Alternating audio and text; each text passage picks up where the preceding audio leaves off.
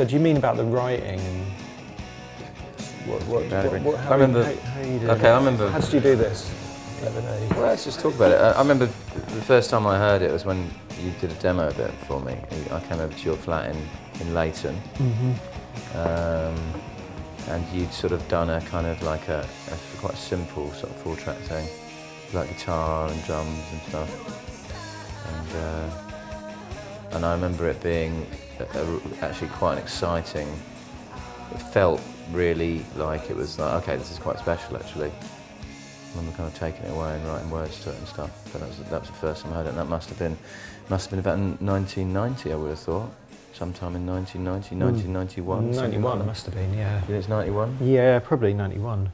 Yeah. Maybe early Yeah, 91. 91, definitely. Yeah, because we had it, you know, we, pl- we started playing it live in some of those poorly attended shows like uh, uh, ULU and uh, do you remember the, uh, Yeah. when Teenage Fanclub were playing in the main hall and we played in the, li- in the little bit and we played to about four people there and it was really depressing. But that was one of the songs we played. Right.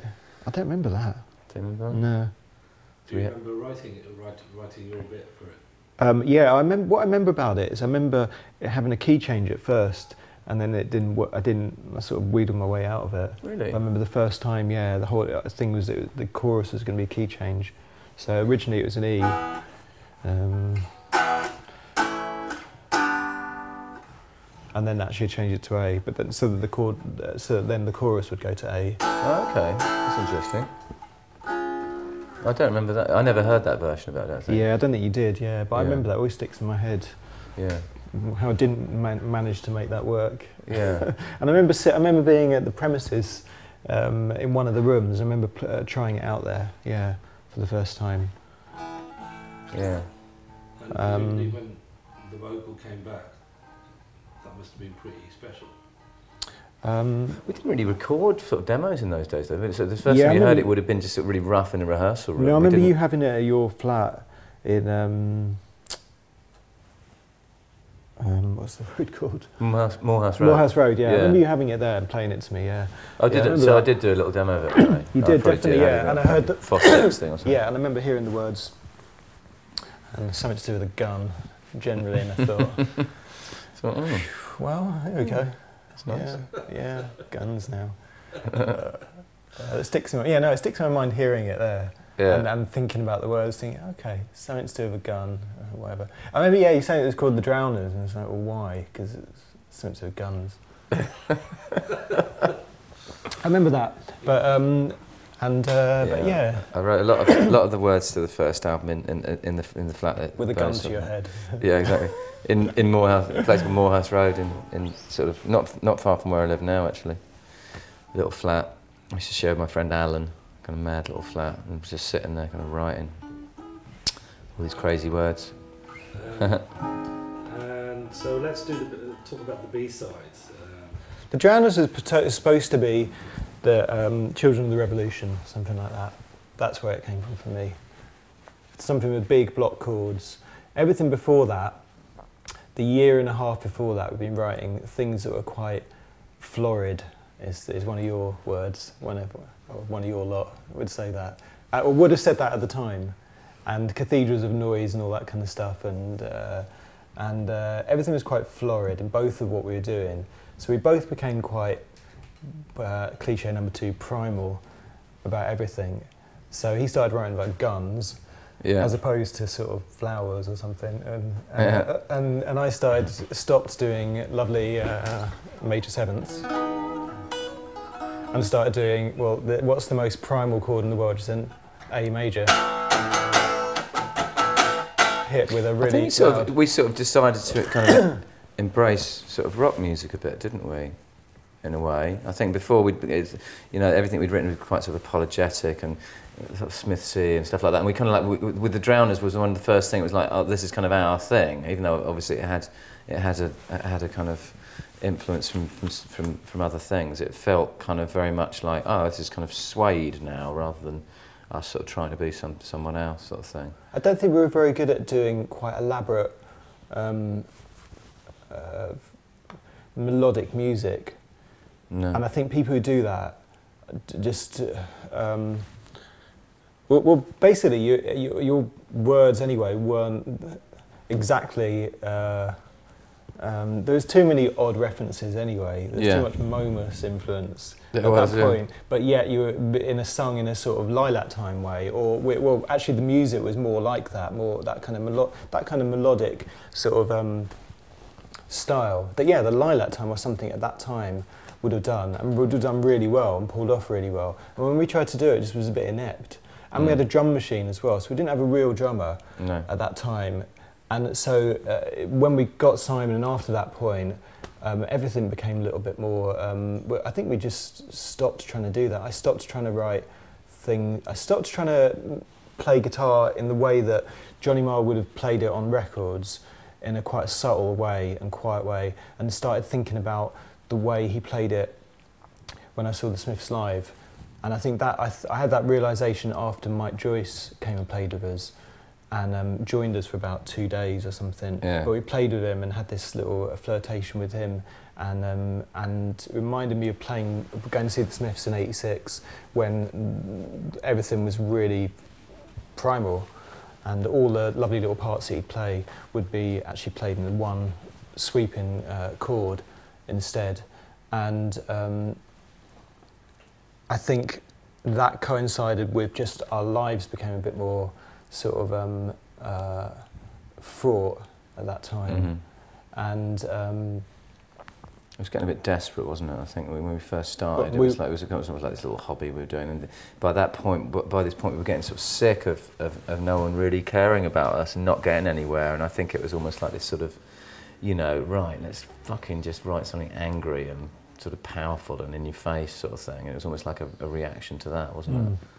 You know. yeah, we definitely became more interested in in sort of if we're going to be humiliated here, we're going to be really, you know, it's going to be quite awful, and uh, you know, and that's a that's a. I mean, it sounds a comedy thing, but but when you start taking uh, in you know in rock history, when you start ta- and we didn't we weren't aware of this or thought this through, but when when anybody starts taking risks in anything, that's when you know something good starts to happen. You know, and when you when you set yourself apart, when you post something as well, when you realise that you're you're you're you, you, when you're trying to join in with a crowd, you really have to be quite good at it to assimilate. If you're not, you have to really set yourself apart. And we weren't very good at, at fitting in No. with with the crowd that was Exactly. there.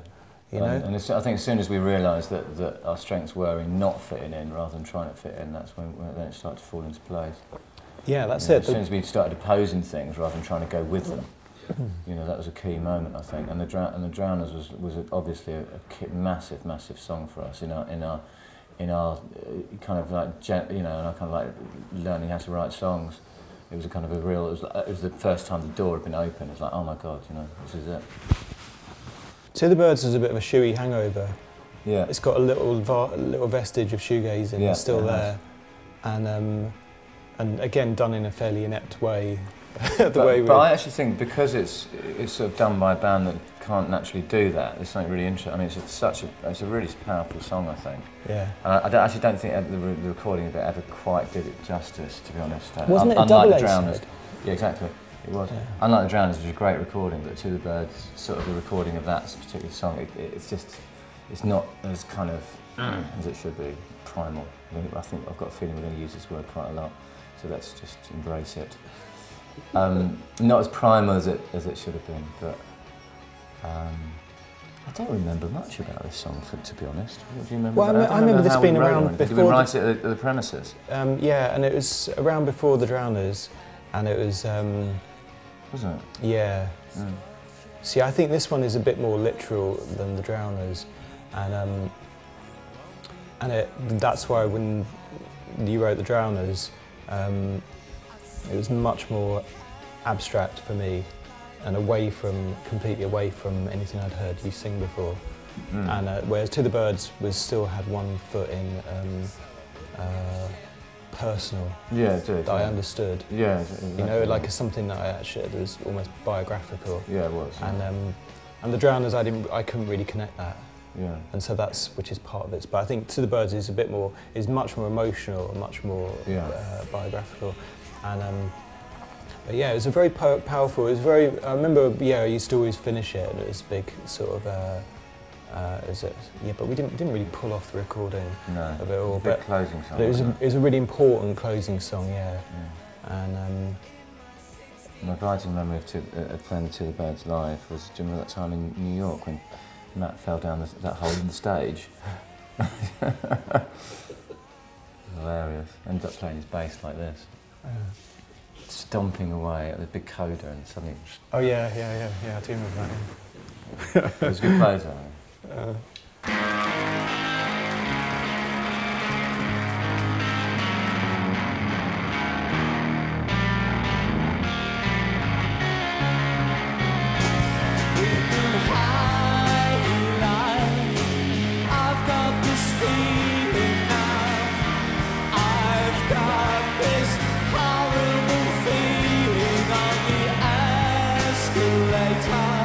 Insatiable one, I remember exactly writing it. We were in the premises, and the other two didn't turn up.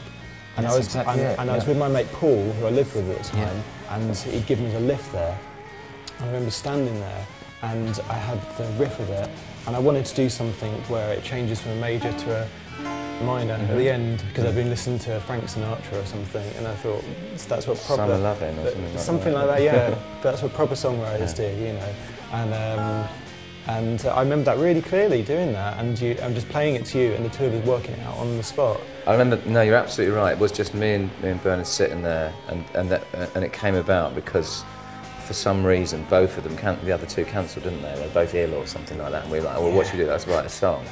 And we sat there. and We we actually wrote. I remember I actually kind of wrote kind of my whole my whole bit, bit of it kind of while Bernard was there, and I just sort of took it away and, and sort of ch- sort of um, fine tuned the lyrics. But yeah, that was one of those kind of real moments, wasn't it? Where we just sort of suddenly, we, f- five, you know, half an hour earlier, we, we didn't have a song, and then we suddenly had this song. It's like, oh wow, that's lovely.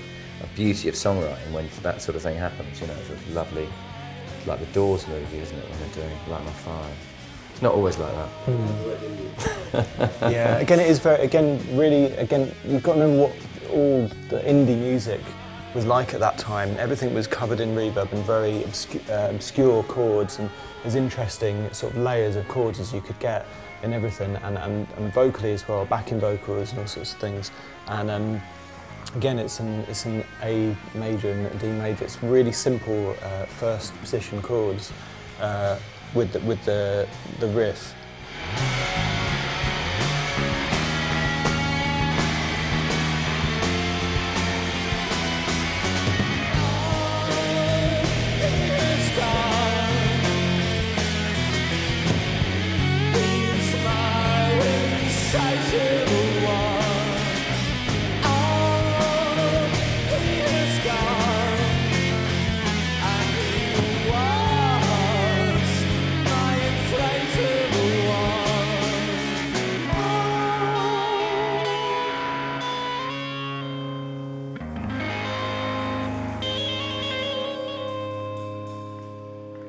Was developing my own kind of like you know sort of little lyrical world as well. It kind of it's quite sort of sexual, but quite kind of, but not sort of like LA cartoon sexual. It's sort of like sort of slightly quirky English sort of sexual, isn't it? And and kind of sort of odd little song about loss and all these sorts of things, but set in a particularly British context.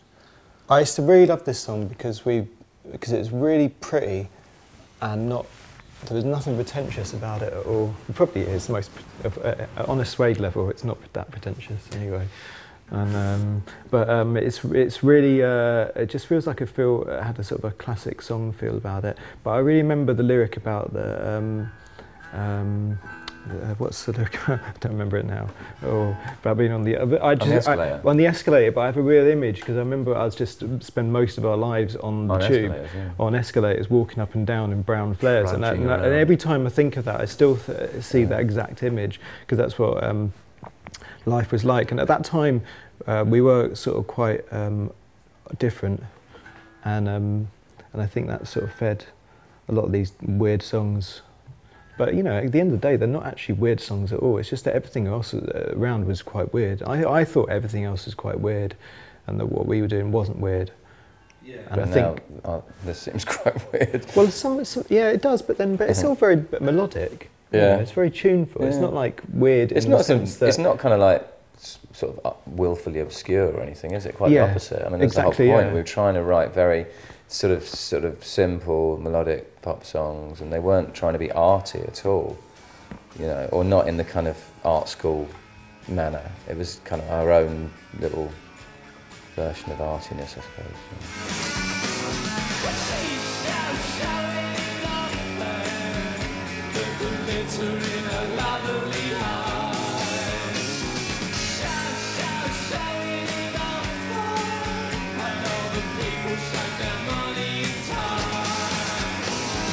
Shoop song.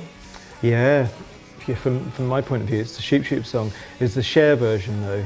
And uh, I remember watching, um, I really liked the Shoop Shoop song when it, I remember seeing it. I remember my girlfriend who ended up, um, my wife, um, she said, oh, but you, you know, you listen to the wrong version and hearing uh, the 60s version. But I always loved the Shoop Shoop song by Cher. I just loved that, the Mm. beat. And I'd always just reference the drum beat, and it had a sort of Motown drum beat, which I'd always wanted to do on something. And um,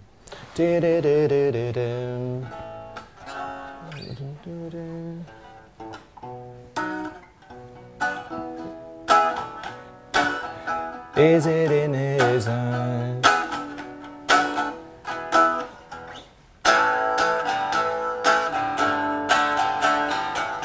Somewhere. Is that that make any sense at all? Kind of. It's the drum beat, really. But I remember being on the tube coming home from one of the rehearsals. And I used to live in uh, Leyton and uh, spent my life on the Central Line. And I remember, Yeah. I remember, I just remember standing there listening to that on my Walkman and really imagining it and just thinking, right, I'm gonna, that's that's what I want, this kind of uh, riff, and uh, going home and doing it. We were on the way to rehearsal or not or something. We used to spend our lives on the Central Line because I was I lived in Notting Hill and he lived in Leyton, so it's kind of like and we rehearsed in Bethnal Green. We rehearsed in Bethnal Green, so it's kind of like literally didn't spend any time in any other line except the Central Line. We should have some sort of loyalty card or something. Yeah. Yeah, Oyster Platinum. Yeah.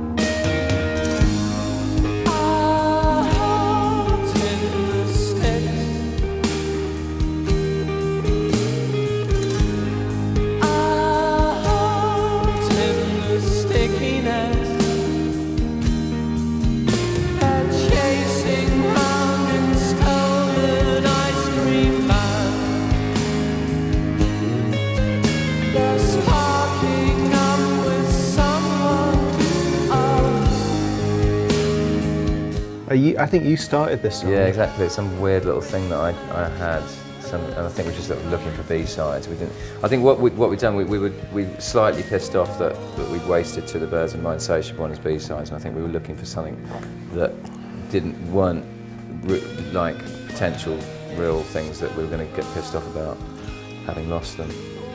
And I had this uh, little weird thing on the on the guitar, and, and Bernard sort of. Uh, took it somewhere else. And I think the same sort of thing with He's Dead. I had this sort of thing with a kind of a couple of odd chords, and you and you brought that guitar part to it and completely changed it. And He's Dead actually became, I think, a really special song. Actually, quite quite a sort of defining song. Funnily enough, it became a really great live song from being this kind of like shabby little odd thing that I kind of came up with. But yeah, those those, those two are, a bit of an an anomaly. Actually, I was saying the other day they're the only only two in the whole whole this, whole this canon that sort of didn't come about. And I think in the in that in that sort of with that formula, the way we were writing at Yeah. the time. Yeah, that's true. But he's dead. What we had before, because it had like the indie dance beat. Oh, we did, Yeah, didn't we we? did. No, It you're had- It was baggy. Oh, you're right. Yeah. Because I used to sing with that megaphone, didn't I? Did you- Was that so? Did you used to have that guitar? So that was before you wrote that the guitar part. Then you re we re. we Yeah, before I wrote the lead guitar part. Yeah, Okay. Yeah, it was more- I'm getting confused. Yeah, okay. Yeah, definitely. It was Because that made it for me. then- that, as soon as you wrote that guitar part, suddenly it was like, okay, well, It it's was down, and basically it was the drum beat from Tomorrow Never Knows, That's right. Yeah. and and then that was it. But that um, that single, I, when I look at that, they're actually, they're actually really good songs, and um, that was a really good time. And um, the sleeve's not as good, which really puts me off. Whenever I think of that, uh, think of that in my mind, that record, I think the sleeve is not as good as the first one. And the first one has just got an amazing sleeve and everything Yeah, it's about good, it. isn't it? Yeah. And uh, everything is absolutely in its right place. But actually, He's Dead is a much better uh, song. That well, it could be could be on the. F- I don't, don't know about that, but it could be on the first I single. like, I like that you were trying to write B sides, but they were just too good.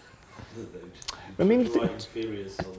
We, we definitely wrote, um, didn't write, write B-sides, just we allowed it to go out and that, at the, you know, because it was still the age of vinyl where, where you had B-sides and B-side and putting out a single, you knew that that's all people would get to hear for a few months or whatever and, and, and you had to just, you couldn't say, oh, but we've got better songs on our album.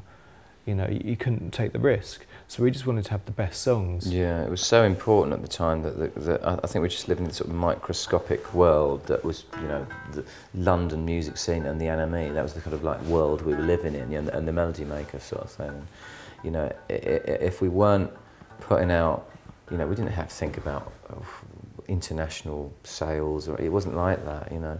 And, and it was so key for us to be putting out things that people were excited about all the time. And the idea of putting out something with, B, with substandard B-sides was kind of, you know, Also, I mean, it's the, the Smiths thing is that of, of having great B-sides and that records are complete. They're not, they're, they're, you know, every track's totally vital. And I remember when we first met, this is one of the things we talked about. Like, we talked about William Is Really Nothing and how that had How Soon Is Now and Please, Please, Please on the back. And that's a, an amazing 12 inch. Best EP of all time. Yeah, it is. And, and mm. you know, and How Soon Is Now was just a B-side chucked away, you know. yeah, I mean, that's just crazy. And, um, and that, that was, you know, all these things were um, um, a big inspiration, you know. And I, I think at the time you, you sort of were, I was, I was slightly concerned of being too reverential and too literal about these things. And um, because you, you're not sure of where your personality is yourself. And actually, further down the line, you think actually that was, these things are such a good move when you take these inspirations and put them into your own sort of world. But um, Metal Mickey also, uh, that song, I mean, where did we play that? Did we play that live? We, we recorded days? that three times. Oh, we re-recorded it. Yeah, I remember we recorded it three times. We recorded it at Protocol and then we re-recorded it because it was rubbish. Yeah, It was kind of really soft and it sounded like status quo or something. We kind yeah, of like we sort of it was like lots of overdubbed guitars, but it should have been yeah, primal. yeah, To reuse the word. yeah. I remember we recorded it at the end at Maison Rouge, Oh yeah, that's right. We recorded it. and uh, um, we went on a tour around that time, which is the best thing. Well, I did with the band anyway. Which is we went to Scotland. I remember, and um, Green like in a minibus, and uh, it was the best gigs. They're, uh, it was just amazing. Yeah, they were great. everything was absolutely perfect. That was the best time. Little, those songs- white transit van driving up to Glasgow. Yeah, we didn't have some of the songs there, but we had uh, most of those songs. well, we were basically playing those two sort of 12 inches and a few other songs, and um, and it was amazing fun. That was Just like- before Animal Night. We wrote Animal Nitrate. Yeah, like in October, or November, or whatever Yeah. that year. We would have had things like Moving and uh, Animal Lover. And yeah, stuff like and that. Pantomime Horse. Pantomime Horse. Yeah. And um, yeah, any band that that's that's the moment when it's just you can't take that away. Really, it's it's just it's it's never as good in any way. I don't know Yeah. for anybody. It's just there's there's nothing you can, you can beat about that. It's like sort of meeting someone for the first time or something like that. It's that kind of thing. you know, Yeah. That kind of moment of sort of falling in love for the first time. You can never, Yeah, you can never get that back in a way. It's but. Yeah, it's just Yeah. I remember playing the place in Edinburgh, and um, people were literally at my my eyeball to eyeball like that, and uh, my some pedals down there behind somebody, and it's just brilliant fun, just the best fun in the world, just loud and you know really funny. Do you, remember the, do you remember we played at that place called the Rumble Club in, in Tunbridge Wells? Oh, And yeah. There wasn't a stage. Yeah. So we were literally, the only thing that separated the crowd from the audience was a sort of like a, was it like a little rope or something like Yeah. that? Or something? It was really odd, so being exactly the same level as the crowd. Yeah, I remember Bath playing Moles. Metal Mickey. I remember playing Metal Mickey there. Bath Moles, I remember playing like that. Yeah. And it's like that. But this was sort of like before hysteria. Actually, it was when it was sort of bubbling up, but it was before it went really, really mad. It's quite weird to know that anybody had heard of us, let alone people in Uh, It's quite sort of not jolly, but kind of I can't think of the word. You know, I don't know if that was a. no, it's Teen No. Spirit. Oh really? Yeah, Okay. I mean, I remember again. My wife uh, said we got this, got Teen Spirit. I remember her playing Teen Spirit, saying this is just amazing record. I'd never heard Nirvana at that time, it was, I'd, so uh, Yeah. just hearing that and just thinking it was just the riff, the fact that it starts with a big guitar riff.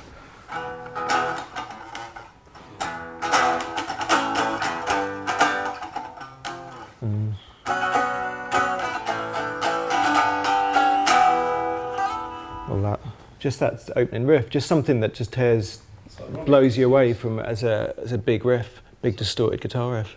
Yeah, but I didn't like the I didn't like the sound of, of uh, Nirvana. I thought it was kind of I, that time. I thought, is this a heavy metal band? Or I didn't really get why everybody what everybody loved about it. But I got that that people that it crossed over, and for some reason people were loving this band. Like, I couldn't get why it was being talked about as a, sort of an indie group. But yeah, it sounded like a heavy metal record to me at that time Mm. because things have changed a lot in the way things sound, and uh, that heavy metal kind of ended, didn't it?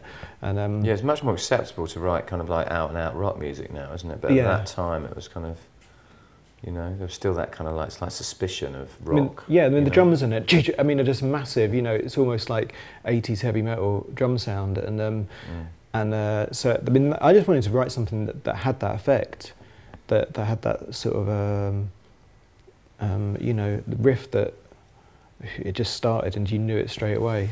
Was it easy to write a vocal, no, it took me ages to get it. Actually, it, it, it I, I had it like Burns says. It was you know the piece, the music was they were playing it in the rehearsal room for ages, and I was sort of sitting there and I couldn't crack the nut. And it did t- take quite a while. I don't know what. I think maybe I just got the melody first, which is sort of woven around the, and then once I got that piece in place, you know, I, I never, I never sort of, I always kind of start with a melody and then kind of the, the lyrics sort of come after that really it's it's rare that they kind of come together, or it's rare that I write lyrics and then sort of put them onto a, onto a thing. It's just it felt, you know, I kind of try and feel how the how the music feels. You know, it's very important for me not not to write a lyric that that has no connection with the with the music. You know, it feels like it needs to speak in the same way that the music does. And you know, I was looking for it for quite a long time, but you know, got there in the end. I don't remember hearing that until it, it we'd finished it, hearing the vocals on it, because we recorded it. We we, we, we did. Uh, we, I definitely didn't do a demo of it. No, we recorded it on. We did that session at Angel and um, in uh, about, I don't know November or something of '92, Yeah. and um, we. Rec- I remember doing the backing track there and recording it there, and then but it was just like we're going to record this anyway, you know, Yeah, it still, it still wasn't a song yet, was it? Yeah. hoping that exactly. it'll, it'll do something for it. Because at um, that point, we were talking about sleep. We just written sleeping Yeah. pills, hadn't we? And we're talking about sleeping pills being the, yeah, the next single. Yeah. Because we were really proud of that song, weren't we? yes. it you like may be proud of it. Yeah. Wouldn't have been a good single, though, would it? It would, yeah. Yeah, Painted People's not the best song in the canon, to be honest. It's just a bit of a throwaway one, That it? was chucked away. That one, Yeah, yeah. it's just something. It was kind of okay. Like, was one of those songs that was okay live, wasn't it? And it just sort of like found its way, and we were looking for a B Yeah. side. It wasn't. Not, Yeah. I'm not especially proud of that. I think big, the big time is, is much more kind of like that, that could have easily been on the first album. I think it's a beautiful song. Uh, it's a, it's it was it was kind of one that we we were, we were just looking for a B side there, weren't we? And it sort of turned into something really special. We were kind of looking for it specifically looking for a B side. It Yeah. We didn't ever think that it was going to be any good, and it just sort of, you know, I kind of wrote up my part to it, and then Ed suggested putting the, or did you suggest putting the, the horn at the end? I can't remember. Oh no. Was that one of his? Yeah, definitely. Yeah, and I think that really made it. That really made the atmosphere at the end. It's beautiful. Really kind of like a, re- a really good move. I thought. It's very simple, sort of a flugelhorn, isn't it? Yeah. Core on that, something. Yeah, really proud of that. So um, That's really. I mean, the timing of that song is really odd as well, because um, well, not odd, but just you know everything was happening then, and it's quite a odd, reflective thing to hear coming out of the group, your own group, when that is actually happening. But it's it's like it's like you're in a film, and that suddenly comes on during that moment in the film. yeah. you It's know, very that's, sort of autobiographical. That the, the lyric to that, you know, it's kind of like very much about what was happening to me and us at the time, and how I sort of saw myself as as being very sort of hungry for what was happening and kind of like you know almost like not treading on other people, but you know, you know, I had friends that obviously that I, had friends who weren't in the band, and, and I sort of sensed that, that, that you know it was almost like a, a, a sort of slightly reflective thing about how they were, you know, I was losing sight of them because I was disappearing off on this, you know, in this in, in this on this sort of really crest of this wave sort of thing. So it was a reflective thing about that, my relationship with them, I suppose, really. Um, well, this is one that actually was written sort of while we were making the record, wasn't it? We never played this live before the first album. Never played it like that. live, no, but we played it in rehearsal a lot. Yeah, it's Uh, called Stonesy, wasn't it? the- the demo. That, yeah. Was it so? Um, yeah, it was.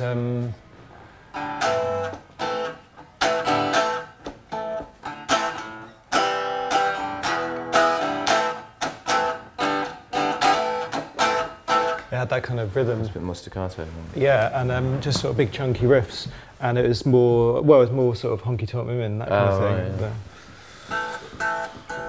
So why did it, how, whose idea was it to change that? Um, well, it just didn't really. It was really clunky when we were recording it. I, I mean, I remember being uh, in the studio, yeah, and it just. I remember I recorded the rhythm guitar part, and I was going to record these arpeggios as well, and we just took out the um, took out the clunky rhythm part, and it just sounded so much better. And uh, yeah, all the way through, and did it just sounded more like what we do. And um, I mean, I just remember being with Ed Buller and, so in, so overwhelmed. Benjamin Button. I just felt so overwhelmed by a lot of what was happening, and by uh, you know by things like that as well that I didn't I just hadn't experienced you know for whatever reason I just hadn't experienced, and um, I found that quite overwhelming, and I felt that looking back on it now when I hear that.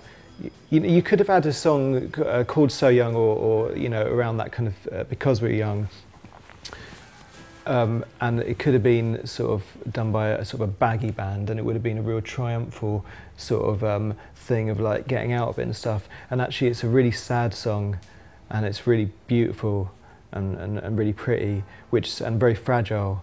Which uh, and basically those words over over music that's quite fragile is uh, is is probably uh, one of the things that makes it for me.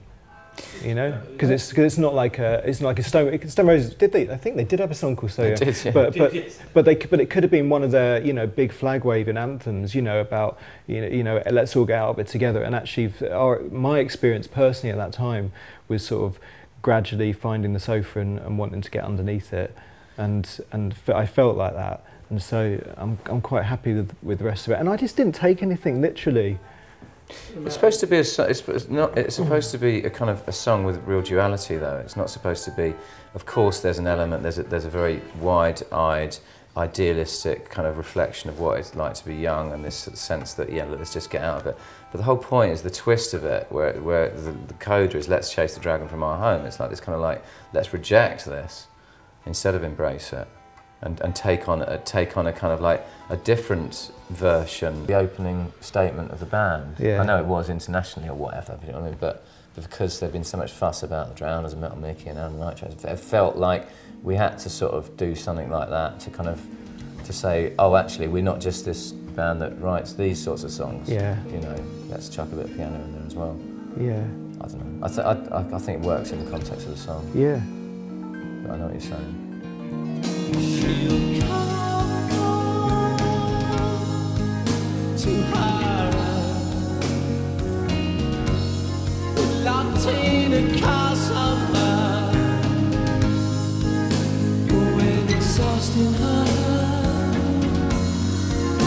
Yeah, I spoke about the lyrics. I, I, remember writing writing this. uh, I remember well. I don't remember. I remember you playing it to me, and you, you had a flat in, in West Hampstead. I remember sitting in your room and kind of coming up with the melody. No, your timeline's gone. Really? Totally, yeah. Yeah. I, def- I definitely remember sitting sitting somewhere with, in one of your flats. Was Yeah, it not Camden. West Hampstead? Camden, Camden? yeah. Okay. Yeah. Okay. Yeah. I had a flat in Camden, yeah. Camden, we all live in Which in Camden, Delancey yeah. Street? Yeah, Delancey Street, at the top floor flat in Delancey Yeah. no. Street. On the Oh, was it there? Okay. Yeah. And um, um, yeah, I remember doing, yeah, I was there definitely when we were doing those songs. And Breakdown, I remember doing Breakdown in that as well. And She's Not Dead, yeah. You just got that electric piano for the first time doing stuff on that. Yeah, I really love. Um, She's not dead. Yeah, it's nice. It's really nice. It's just a really intricate kind of beautiful song. I, I kind of, I think the rhythm section is, is really nice as well. Yeah. Bass is lovely and what the drums do. It, it just all kind of combines to make it not just a sort of ballad and what the guitar does with the trill. It used to be called trills, didn't it? Trills, yeah. Yeah, that's the thing because it was just this yeah, twiddly thing.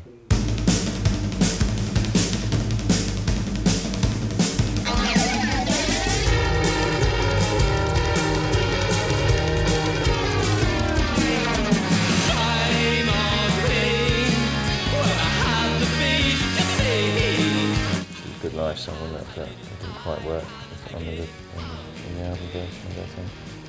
Was that phasing? What's that all about? I know. well, I don't know. Wasn't? I mean, that's the funny thing about a lot of the, the. I don't remember being being there for the mixing of any of this first album. I remember Animal Nitrate, and the only reason I remember it is 'cause I remember us always being in a room Uh, because we mixed it in the room next door at Master at the SSL, and I remember being there and Saul Galpin waiting outside in his car at three in the morning, and us having to. I remember, I remember the car, he-? Kim went out to sit in his car and check it, and we all just stood there and just like.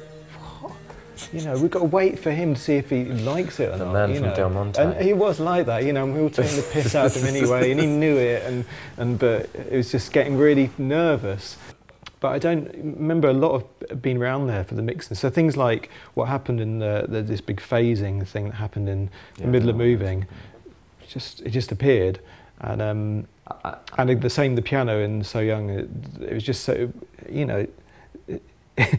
Anything like this, you, you can see like a record becomes a record and you accept it for what it is, and it is for everybody else. Like you, the first time you hear it, that's what it was. But if you, if there's anything that has changed in the meantime, it's very, it's going to be very hard to to come to terms with that, knowing that there was something there and it was taken out. So that's why we struggle with that thing on uh, uh, a couple of things there. But um, right, but having said that, a lot of the touches, like and she's not dead. There's this weird sort of uh, uh, spooky sort of synth, which is really great, and um, that's that's why, and I really love that. Pantomime Horse? Huge, hugely uh, loved song. Yeah, um, of- by yeah, it's, I, I, I love Pantomime Horse. It's one of I think it's one of the, the greatest moments of the of, the- of the band actually. which is generally, it's just such a special song. It's so sort of I don't know. Who started it? I remember it being it wasn't in that time signature when you first. wrote Yeah, it, it was wasn't a at first, time. It yeah. it was in four four, wasn't it? Yeah, And, and the the reason was because I didn't want it to be that joke isn't funny anymore exactly, exactly. And and and then just thought then fuck it, thought, fuck it. And uh, Yeah. But it doesn't sound. Yeah. yeah. So we So, sort of but the, the key thing is, uh, I, I remember working out legally that I went for went A. If I had that rhythm, I went up to a B rather than down. Then it would be fine. So uh. You were writing it with Kaz on the line. Kaz being on the- no, but we wrote this. In, uh, I remember we had this in when I was living in Leyton, and I remember uh, yeah writing this in the summer. And which is because it's such a summer song, isn't No, it? it's, it's, it's like the Beach Boys, isn't it? Um, but Um, it's a yeah, it's a, it's a beautiful song. And I'm. Really, really, really proud of it. And I remember playing this when um, there was one person in the room, two people in the room. One was Alan, um, and one was my wife. What a gig! Uh, at the gig at the Falcon, and we swapped sides because there was a radiator on one side of the um, stage, and me and Matt swapped off. And it was so fucking cold. because it was so Yeah. cold, Yeah. and uh, to stand. And I remember looking up at Lisa every now and then, and she was like that. Done yet? dutifully can sitting Can we go out? Yeah. We're going out, aren't we? Oh, dear. And uh, and I remember the very next time we played there, it was Morrissey came and Suggs came, all these yeah, people. grand, wasn't it? And she didn't bother coming. But um, but I remember having played. But uh, the point is of that useless anecdote is that playing pantomime horse, a tragic song in three four with this dramatic. Um, uh, climax and uh, stuff to two people in a bright room Yeah, exactly. that's freezing cold. It adds, adds another element to, to the word tragic, doesn't it? It's, it's tra- tragic in a different way. yeah, well, you it adds a new meaning to you had to be there. Yeah. But, Really, uh, Tears of a Clown. That really was the yeah. That's that, that's what this band was all about then.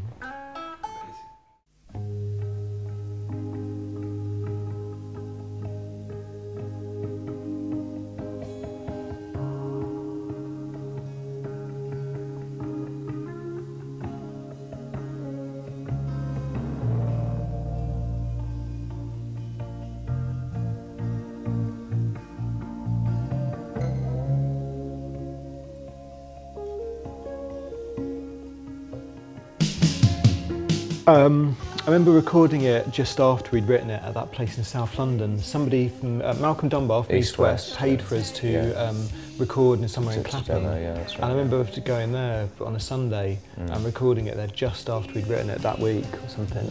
Yeah. And uh, so and that was because he was trying to sign us. And every time right. somebody wanted us to sign us, we said we're not sure if we could only hear our songs demoed. Yeah, so then, we just um, got loads of free demo time. Then it would, it would make it much clearer. So they paid for us to do demos, which quite cruelly we'd play to other people. Exactly, yeah. Oh well, That's always happens. exactly.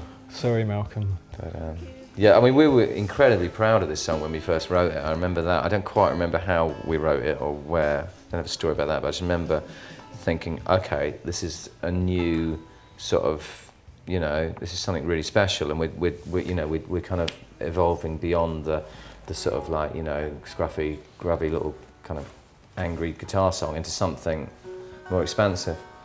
Um, and something I forgot to mention that was kind of bugging me the other day we were talking about the, what, was- what the song was about. So many people assume this song is about suicide, and it, and it isn't. It's about kind of like people taking Valium to, to just to get through the day, sort of thing. You know, it's not. It, it's, people always sort of think that it's got that kind of tragic edge, and it's got a different sort of tragedy. It's supposed to be a sort of a, you know, an everyday sort of tragedy. Do you know what I mean? You see, see Sleeping Pills and think, oh my god, it's about suicide, and it's not. It it goes goes together with uh, my insatiable one for me. Yeah, it probably might have been written um, not not f- not long after, but yeah, very similar, but just slowed down version of it. Are there um? And, uh, is it called is it called chromatic when you like you put chords together that are from that aren't from the same aren't from the same group? Uh, it's, of thing? where it's when There's, uh, there's lots of chromatic.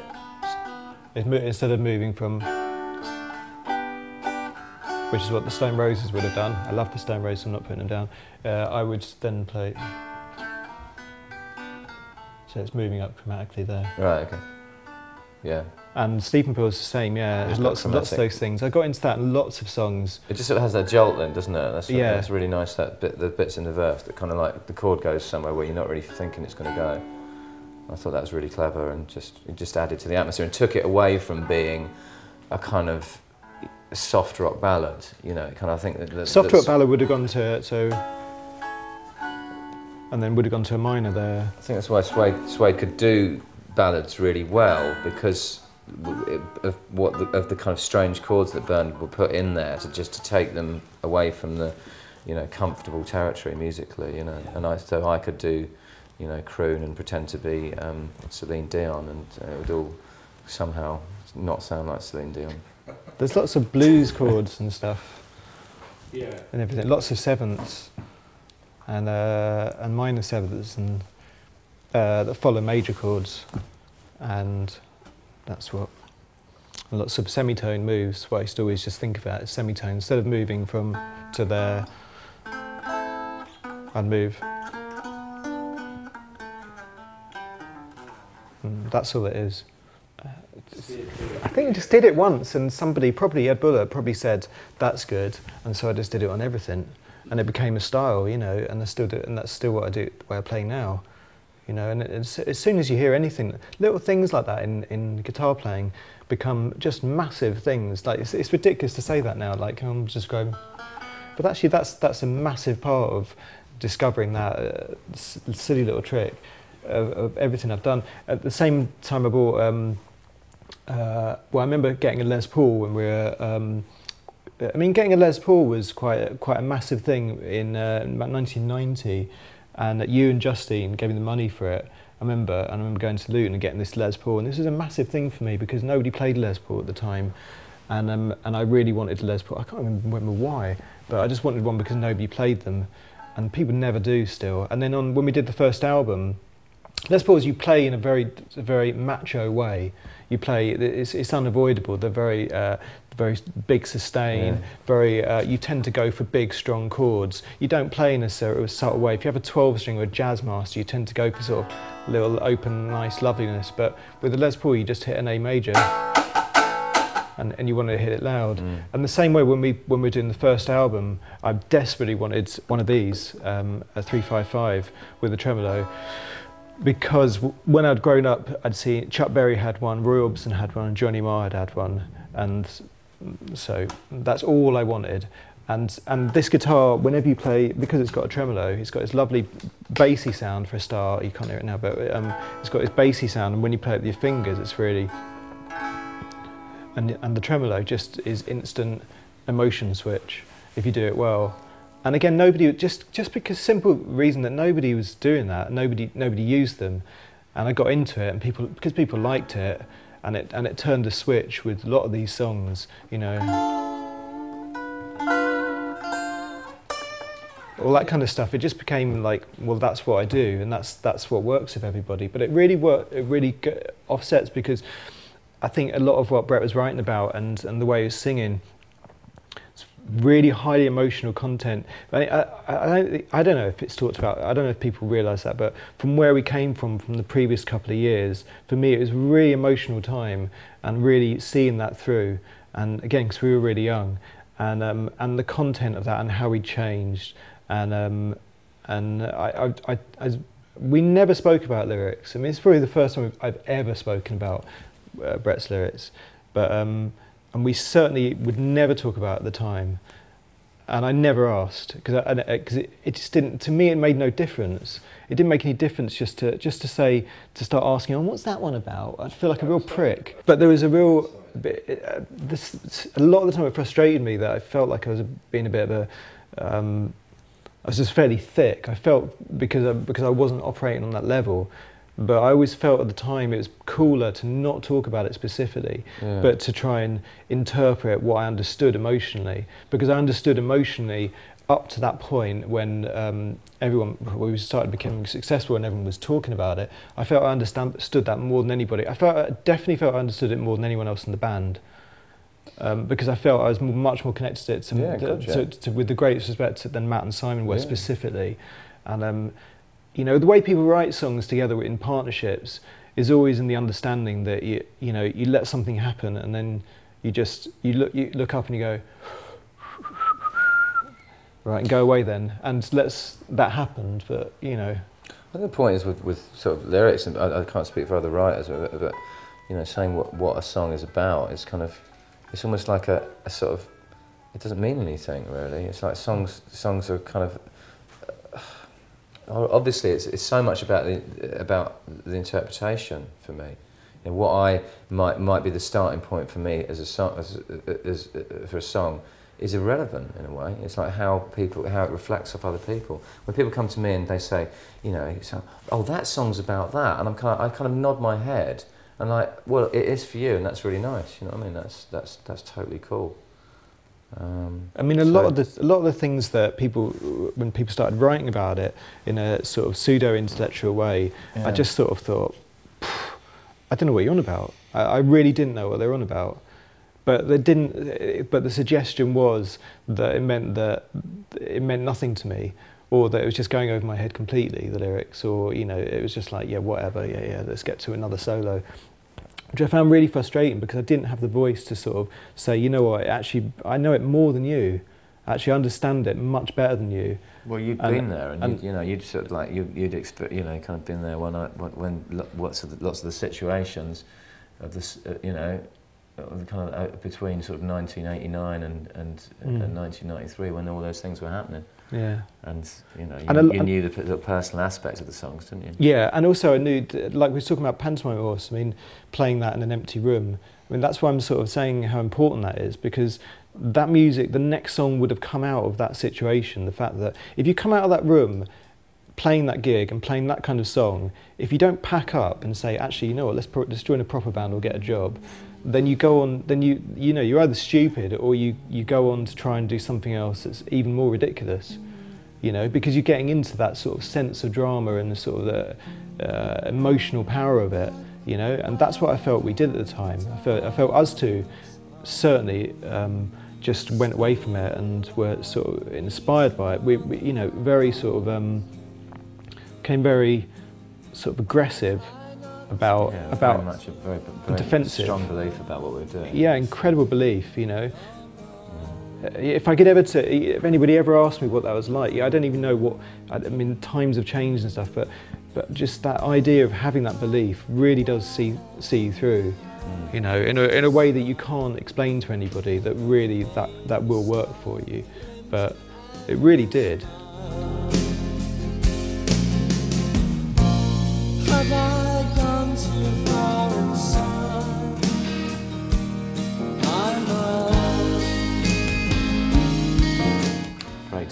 Yeah. So what did we? This was written So during the album sessions, wasn't it? Yeah, so basically, um, uh, Brett used to have um, Rod Stewart's greatest hits, and um, did, didn't I? and uh, which uh, was always playing, and and I and it's the pink one with the pink cover. Yeah, I can see it now, And I dug this out, this, and I was thinking about this morning, and I and I found my copy of it, and the, the, he used to always play the first cut as the deepest, great which song. which is uh, well, all that album is brilliant. The pink Rod Stewart's greatest hits, it's got the Killing of Georgie. Yeah. Um, I was only First Cut is the deepest, yeah, all of those, Yeah. and it's really, really amazing record. And um, but we used to listen to that when we weren't listening to Momus. We were listening to Rod That Stewart's was said greatest with a, with, a, with, a, with a hint of bitterness. Oh, I tried to find Momus this morning as I well. like some moments. I know, still. yeah. It's Yeah, good. I know. That Poison Boyfriend album's great. Yeah, that's the one. Yeah. In fact, have you seen that Primal Scream record? Which is that you know the sleeve of do you know the sleeve of the Poison Boyfriend with him doing that? Yeah, yeah, And yeah, there's yeah. flowers behind him. Yeah, yeah, you're right. Yeah, It's like the new Primal Scream. record. yeah, yeah. Don't know if it's Yeah. whatever, but whatever. Love Primal Scream, of course, but you know, just just point it out. I'm sure people have pointed out before. Um, But I remember listening to uh, yeah. Well, anyway, I remember listening to that at the time, and Breakdown was called Stuart. That was the. Uh, it's oh, um, Rod Stewart. It's uh, like a working title. And uh, yeah, I remember writing that in Camden on a Sunday afternoon, and it was literally written because we needed another song. And um, I remember uh, wanting to write stuff that had a key change in it, and um, that's where it came. I remember writing it Sunday afternoon, yeah. And then, but it was really quickly done, and I remember sending it to you in it and thinking, oh, this isn't going to happen, you know, because it's got sort of just odd structure, and because I hadn't really worked it out. And then it's like, actually, we're doing that one next week. Yeah, I, I remember writing that quite quickly. Um, I think I wrote my parts in. I had a little studio in Nomis. I was kind of trying to get my sh- shit together for the album, and that was one of the ones I was I was cracking away at. But I'm kind of like hearing back. I kind of wrote my bit to it, and then they, you, you were recording it at Master Rock, and I came in and listened to it, and it just sounded amazing. And you had the wor- had that kind of whirly yeah, well, well, that's the, the Rod Stewart thing. Yeah, and it was just really, and it, texturally, it was it was kind of quite different to stuff we'd done before, and I remember being very inspired by that, um, and thinking, yeah, this is going to be, you know, I really love the the sense that this album is kind of like starting to spread just beyond a four-piece band sort of thing, you know, it's kind of it's having those little suggestions. Hmm. Um, And uh, I really love the the thing about the Volvo. Uh, Yeah. Just Thinking about the um, mainly because I was born in Stamford Hill. Am I allowed to say that these days, or that? Say that if you want. But but yeah, that's what that's what I related to. I just thought that's just so cool. It's writing about. about Volvos. And kind of incidentally cornering the Swedish market, you know. But Yeah. Animal Love is another one that for me it's, it was a great li- uh, live song. It's the earliest sort of song that made it onto record, I think. Uh, Yeah. playing to people maybe. I don't, it, it, it never really, it shouldn't have been on the album. It was a bit, bit of a mistake. I think it was, it was there because it was, it was a mainstay of the live set, wasn't it? More I wrote that riff when I was 15, Yeah. and it was just been hanging around since then. Yeah, we wrote, wrote Yeah. it really. I remember My writing first group. really, really early on. I, Yeah. I don't think it's there's anything that exciting about the song. To, to be brutally frank about It's a bit. It's overproduced as well. That one definitely. I was listening to that this morning. It's got these maracas and all sorts of percussion going. All on. stuff It used to be quite good. It used to be live. It used to be really one of those exciting songs and on, but it didn't quite big chunky riff. But yeah, it was. Um, yeah.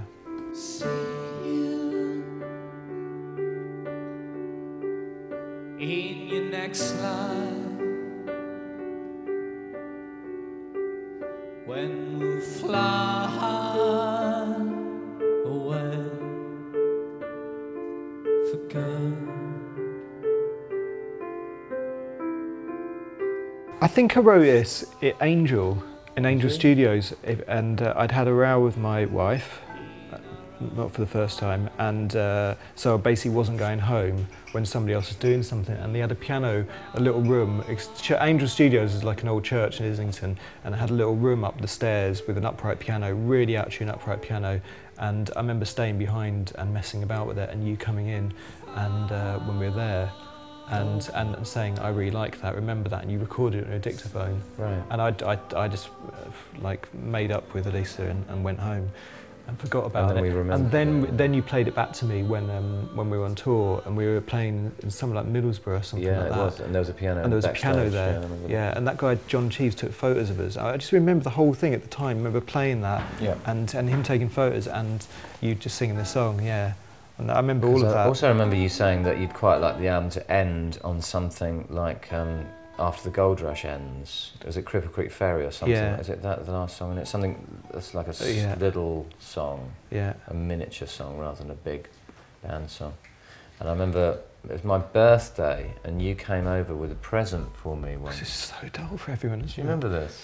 But this is what people want to hear, isn't it? I know, yeah. I remember I playing it. pla- You played it. On, I had a crappy old pan- piano in Moorhouse Road, and you played it, and I, I sung you the part that I'd written. What's the present? It was a book, I think. A hammer, toolbox. I can't remember. car maintenance manual, probably. flower or something. Yeah. Yeah, I just wanted to, I th- well, really wanted us to be, I think probably being a bit possessive, didn't want to, it to turn into, and now we're all going to jam together to write songs. Now we've got somewhere, and as being quite, us two are going to write a song, write great songs like this, you know, and whatever it takes. If it, if something comes up on a piano that doesn't need drums, doesn't need guitars, no guitar in it either. And at you got to remember this point I was the guitar player, and most people didn't know anything else apart from just it was a group and there's some guitar, and so I was quite quite keen for that to happen, to sort of uh, I don't know. Um, I guess again you wouldn't have got that on, on Nevermind, would you? No. That's, that's always a good criteria. Yeah, and um, but I, f- I remember playing it at Jools Holland, and um, we did Jools Holland, and we did that, and I remember doing the sound check, and I looked up, and Bryan Ferry was sitting at the end of the piano, just leaning over, and uh, I was like, "All right." You know, and I remember, and at the same time, Jools Holland came over in the sound check, and, and I was uh, I was talking to the sound guy about the piano, and um, about the sound of the piano, and he comes over and says, "You all right there, mate?" And I said, um, "Yeah, just it's getting used to the piano. It's a bit, you know, a bit Jools' special Bosendorfer." And uh, and him saying to me, uh, saying to me, "Yeah, it's not one of these MIDI pianos, mate. You know, it's the real thing. You're probably used to a MIDI thing." Or keyboard. And I said, "Thanks." So there was him saying that and Bryan Ferry saying that, and so you know, is it any wonder I went mad? Things that stick in your mind, eh, Jools? Yeah. Hmm. Yeah, Dolly's forgettable to be honest. It was just something we, a sort of Mhm. B side we were writing. It's quite an early thing, wasn't it? We played it live a couple of times. We played it at the Underworld. Yeah, Dolly was quite exciting for the first rehearsal and the first couple of gigs, and then sort of became way overexcited. Yeah, it was sort of one that didn't quite work. But High Rising, however, is, is one of the best things we ever did. I think, Yeah, I love bizarrely High. Rising. Yeah, remember I had a cold when we when we. Uh, when, we, when I recorded the vocal, and the, I really, Yeah, I really like the vocal on it. It's got, s- it's, there's something really rich about it. I think partly because I had a cold. You know how your voice sort of changes and gets all mucusy. You'll hide among the cover and wave as the aeroplanes go by.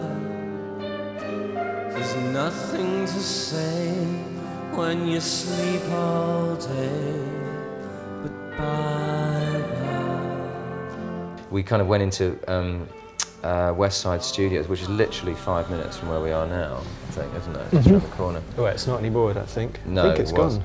um, and to record it, and, and we went in. We had a song because you'd written. I remember we write. I, I remember writing my bit on, on tour. We were, I was in Manchester, and I had this little dictaphone. I was sort of singing into it, trying to sort of like almost create a kind of like a travelling studio thing. I had a, a portable cassette player and a dictaphone. That was my studio sort of thing. Um, and I wrote wrote my part, and then we, we kind of took it to West Side, and I think it was. I think this is a real key key song in, in terms of what came what happened with Dog Man Star because I think this is very much you trying to trying to sort of write a big sounding song, but without a, a, a kind of without a rhythm section really, or traditional rhythm, rhythm section. Yeah. You know, throwing lots of stuff at it. You know, I think the Mm. harmonium is is really key part of the sound. It's lovely. Yeah, I remember I borrowed a keyboard from my brother, and it had a, this sound, and I, re- I remember recording this at home in, in my flat in Camden, and um, and then but I didn't know what a harmonium was, so when I realised Ed said this is the sound, it's a harmonium. I was like, well, let's get a harmonium. I didn't realise what it was. So it's, you know, harmoniums are pump organs, but they're notorious because they're for being out of tune and creaky and noisy and, and quite difficult to play if you've never, you know, literally from going from a MIDI piano to um, a Bosendorfer is, is exactly that.